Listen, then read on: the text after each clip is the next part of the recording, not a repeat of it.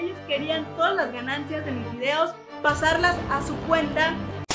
Hello, mi bella gente de YouTube, ¿cómo están? Oigan, qué gusto, qué felicidad, qué bendición poder estar aquí en un video más con ustedes. Ya los extrañaba después de desaparecerme otra vez, otras dos semanas. Pero es que han pasado algunas cosas. Si ustedes me siguen en Instagram, sabrán que me hackearon. Y yo al principio, cuando me hackearon, dije: Tiene que ser una broma esto. ¿Cómo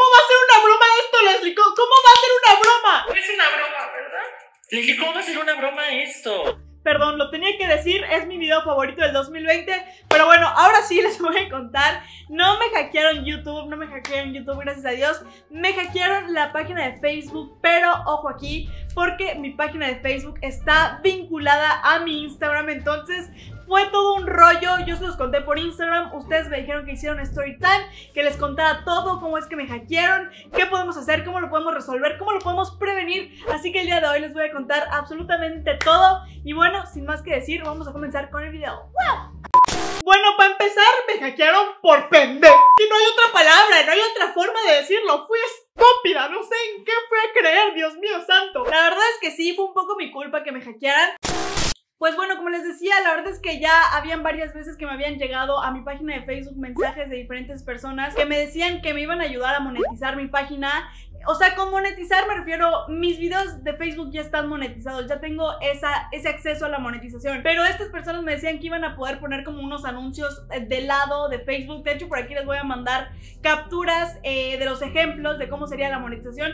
El caso es que la verdad me ofrecían muy, muy buen dinero. O sea, yo dije, güey, o sea, güey, o sea, ropita, mira, nos pagamos los lujos. No, no es cierto, pero la verdad es que sí, era mucho dinero, por eso a mí se me hacía súper extraño. Les voy a contar, eran de que siento 50 dólares a la semana, eso es lo que me ofrecían por poner dos anuncios en un día. Entonces, pues era muy buen dinero, este, no se me hacía un exceso de anuncios. Y como que a mí eso es lo que me da desconfianza. Ya saben que yo dije, no, es, es demasiado dinero. Y el caso es que como que nunca confío en esas personas porque normalmente cuando te quieren contratar o una agencia quiere hacer eso, pues te llega un correo, todo más formal, ya saben, ¿no? Entonces por eso como que igual no creía que un perfil de Facebook nada más como que me hablara. La verdad nunca les respondí porque pues yo pensaba que, que no. Bueno, X, el caso es que para esto, pues, pues yo no había caído, ¿no? Había muchas personas que me habían escrito y me habían dicho eso y yo no había caído. Pero pues eh, resulta, pasa y acontece que esta vez me llegó un correo a mi mail, el cual se veía súper profesional, decía que era una empresa, de hecho hasta tenía como unas oficinas, tenía dirección, tenía todo. Yo busqué en Google antes y sí aparecía que la dirección que tenían ahí era una dirección de oficinas, entonces como que yo dije, güey, esto está más creíble y también pues me ofrecían de que la monetización, como el ejemplo que les enseñé, y también me decían que esta vez me iban a pagar tanto, pero era una monetización bastante buena, entonces yo dije, bueno, pues vamos a ver qué pasa, vamos a intentarlo, vamos a ver qué dicen. Pero para esto la empresa que me contactó solo era como, o sea, solo hablaba en inglés, entonces pues yo sí hablo inglés, pero no soy como que aquí la perfeccionista en ese idioma. Y eso me da un poco de, o sea, no de miedo, pero sí era como, uy, pues a ver, o sea, porque me tiene que explicar cosas y me da miedo no entender y ya saben, ¿no? Bueno, les pasé mi contacto, nos pusimos a hablar por WhatsApp, me explicaron todo mucho más detallado y el caso es que me dijeron como nosotros no necesitamos ser administradores de tu página,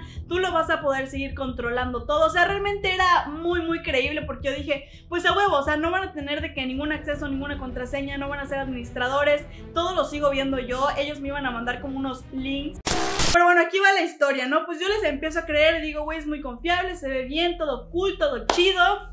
Me empiezan a decir, te vamos a explicar ahorita cómo agregar esta monetización de anuncios. Tú síguenos, vamos paso por paso. El caso es que me empezaron a mandar fotos de lo que tenía que hacer. Y llegó un punto en el que ya estábamos como en la parte de Facebook y eh, se llama Centro de Administradores Comerciales, lo cual si algún creador de Facebook me está viendo, o sea, yo la verdad es que no, no tenía idea de esto, yo pensaba que solo eras administrador y era lo más top, o sea, nadie puede tener un rango mayor, pero sí hay una cosa que se llama Centro de Administrador Comercial, el cual es el dueño completo de la página. Obviamente para esto yo era la administradora comercial, o sea, yo era dueña total de mi página. Y bueno, me empiezan a decir como tienes que agregar esto para unos pasos nada más para que te aprueben la monetización en Facebook. Me empiezan a decir qué hacer, shalala, shalala.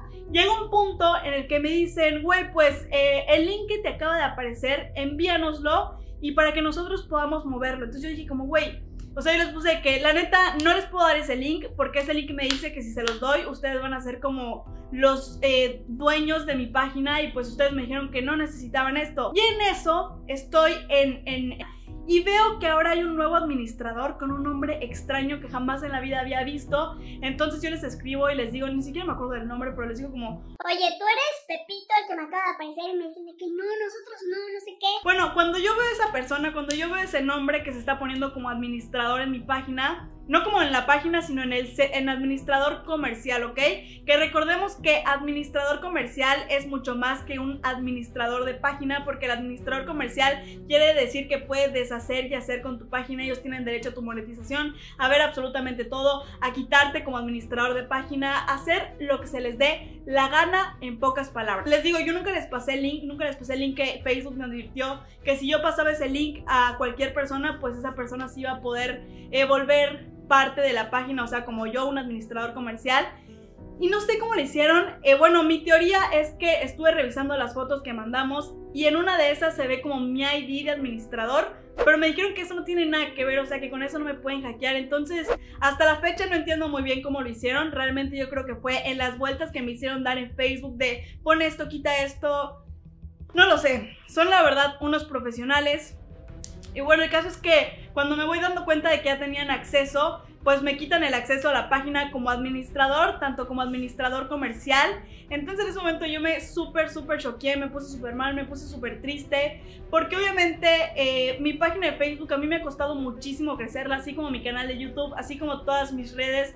Ustedes saben que realmente ha sido trabajo honesto, o sea, realmente yo he creado el contenido, yo en Facebook intento subir tres videos a la semana, realmente le pongo muchas ganas y de, este último año fue cuando crecí más ahí, que ya son más de 500 mil seguidores me parece, entonces pues güey, en ese momento me choqué, me puse súper triste porque realmente yo no estoy ahorita en Facebook con ninguna agencia, sino que yo la manejo solita. Entonces no sabía a quién llamarle, no sabía qué hacer. Y le hablo a mi amigo Chino Fernández y él está con una agencia y le digo de que, güey, por favor ayúdame, me acaba de pasar esto. me empieza a explicar, me empieza a decir de que no, güey, ya. O sea, me empieza a decir en pocas palabras. Eres una estúpida, ya valió todo, ¿qué hiciste? No, pero sí, la verdad es que él me calmó muchísimo. Me dijo como, no, güey, pues, pues sí te hackearon. Eh, lamento informarte. Pero empiezo a decir de que tranquilízate, ahorita vemos qué hacemos. La verdad, él me calmó muchísimo en ese momento. También le hablo a Emanuel, que, bueno, ustedes lo conocen, era mi manager, le hablo y le digo de que, güey, me acaban de hackear. Él me dice, no te preocupes, ahorita checamos en los contactos de Facebook. Ya saben, como que ahí ya me empecé a, a calmar, a tranquilizar. Y también yo por mi parte le escribí a Facebook, o sea, busqué la ayuda de Facebook, les escribí, les conté lo que me había pasado, les conté mi caso. Y sinceramente estoy súper, súper agradecida porque ellos en verdad me ayudaron un chorro, o sea, le pusieron muchísima atención a mi caso. De verdad yo dije, va a tardar para que me regresen la página porque yo vi en videos de YouTube de personas que les hackeaban la página y tardaba o algunas no se las regresaban o era un rollo. Porque aparte para esto, Facebook obviamente tiene que comprobar que es tu página, o sea, que realmente tú has sido siempre el administrador comercial entonces me pedían como una carta eh, ante el notario público, pero gracias a Dios y al cielo ahorita por la pandemia, pues Facebook está muy consciente de que no se puede salir, no se pueden hacer esos trámites. Entonces me dijeron como, güey, pues sabemos que no puedes hacer ese trámite, entonces haz una carta, pero, eh, o sea, me, me pidieron unas palabras especiales, que era como un juramento de que pues si yo mentía o algo así, pues podían eh, proceder contra mí, ¿no? Por decir mentiras, por por eh, decir que es mi página si realmente no lo fuera. Pero bueno, eso no importa porque pues realmente si es mi página estaba diciendo la verdad. Entonces yo hice la carta, este, hice el juramento de que pues realmente todo, todo lo que decía era la verdad.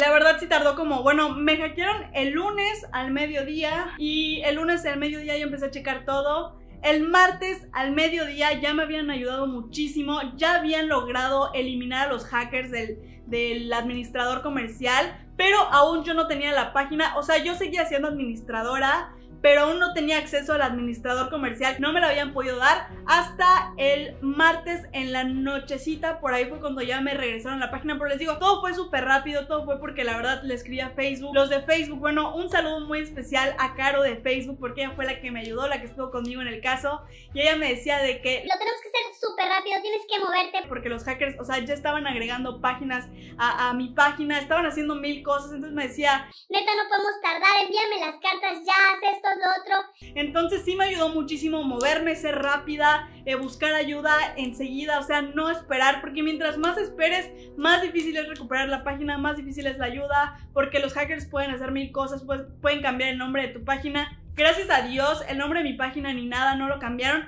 Lo que ellos querían, y ahorita les voy a contar, ellos querían la monetización de mis videos. O sea, ellos querían todas las ganancias de mis videos, pasarlas a su cuenta. Y también algo que me dio mucho miedo es que mi página de Facebook eh, está ligada a mi cuenta de PayPal porque pues obviamente ahí me pagan todo lo que gano del contenido. Y también mi página de Facebook está ligada a mi Instagram de Scarcucci, entonces yo decía como, güey, o sea, si tienen acceso a todo, a todo, a todo, pues tienen mi cuenta de PayPal, tienen mi Instagram. Entonces yo estaba, no saben lo triste que estaba, pero lo que me gustó de esto, lo que aprendí muchísimo es que me he aprendido a controlar. Les juro que si a Scarcucci de hace un año le hubiera pasado esto, hubiera llorado, me hubiera puesto muy mal, hubiera, no sé, o sea, de verdad me hubiera dado un shock.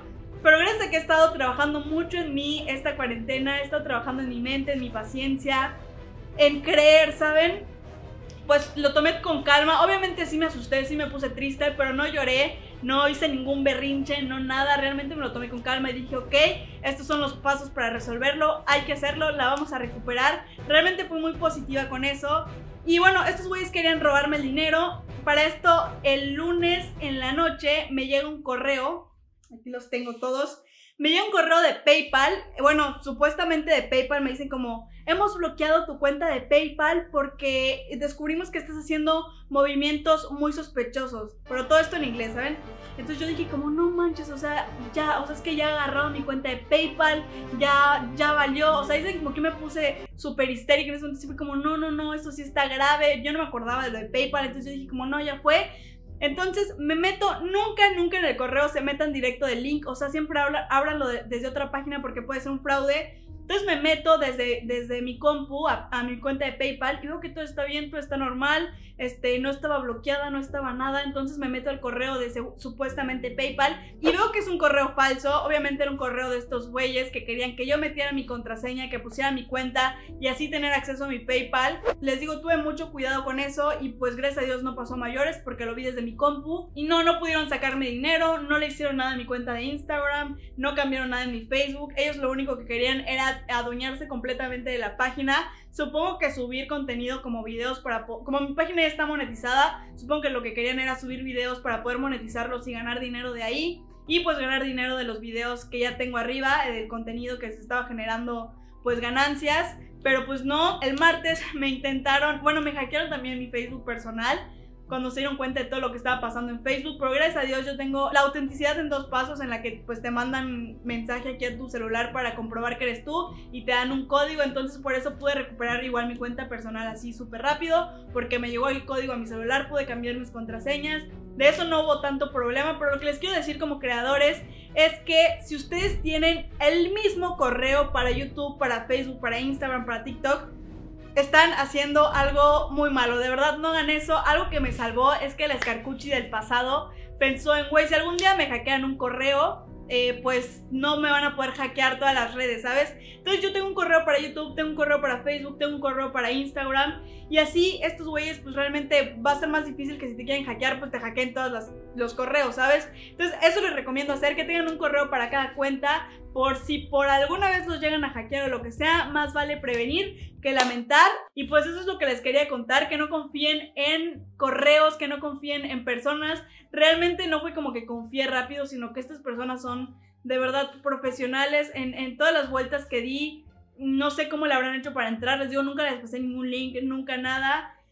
Y pues ya, gracias a Dios pude recuperar mi cuenta, todo está bien, pero pues este video es para que ustedes tengan cuidado, para que neta no confíen en nadie. Si alguien les ofrece 150 dólares a la semana por publicar anuncios en su cuenta, no le crean, es falso. Y pues ya espero que este video eh, los ayude, si alguien es creador, si alguien le ha pasado o le está pasando, tranquilos, pueden recuperar su cuenta, solo contacten a Facebook. Y nada, de verdad, eh, les deseo lo mejor del mundo a todos. Gracias por escucharme, gracias por preocuparse, por estar súper al pendiente de todo lo que pasó. Los amo con todo mi corazón y pues espero verlos pronto, espero ya poder pronto eh, salir a grabar. Esperemos que todo mejore en México, en todos los países, en el mundo con lo de la pandemia. Les mando las mejores vibras, los mejores deseos. Los amo con todo mi corazón. Que Diosito me los bendiga y yo los veo hasta el próximo video. Adiós.